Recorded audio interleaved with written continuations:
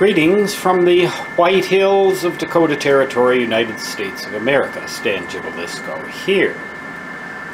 This is the breadboard, a corner thereof, showing some of the nails that I have pounded into this piece of wood. This is part of the video tutorial sequence for the book Beginner's Guide to Reading Schematics.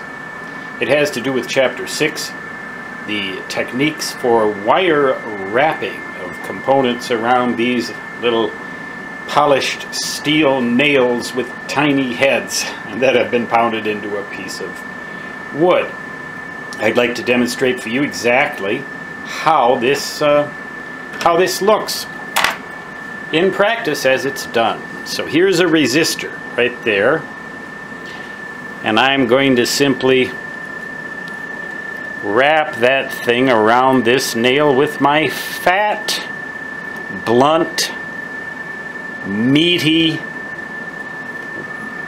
soot-stained fingers, stained with soot or yeah, with soot from the wood stove. Now, I don't know how well you can see that really, but there's a resistor. It's wrapped about four or five times around that nail. That is the wire wrapping technique.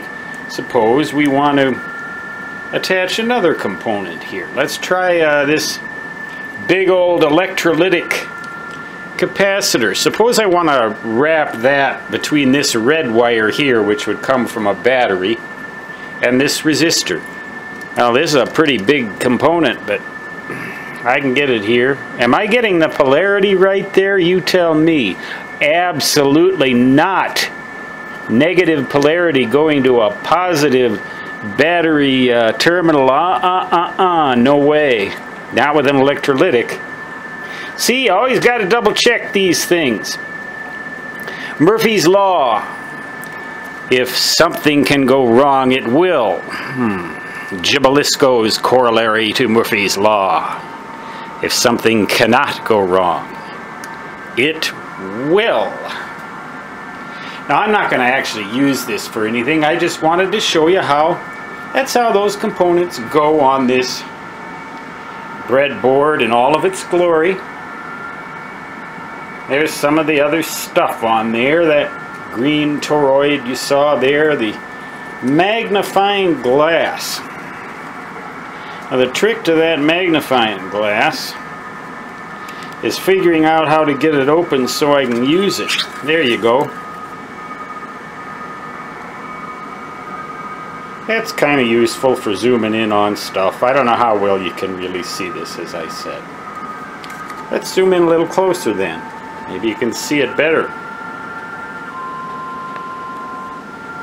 Well, uh, this lens is not exactly what I would call a precision lens. You can actually see the the aberrations in the glass. There's the resistor, there's the capacitor.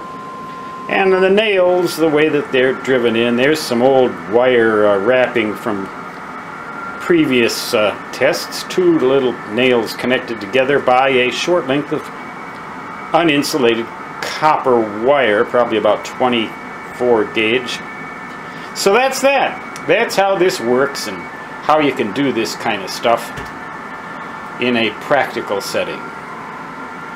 Beginner's Guide to Reading Schematics, third edition, published by McGraw-Hill, October 2013, edited by yours truly. I recommend it. Get it.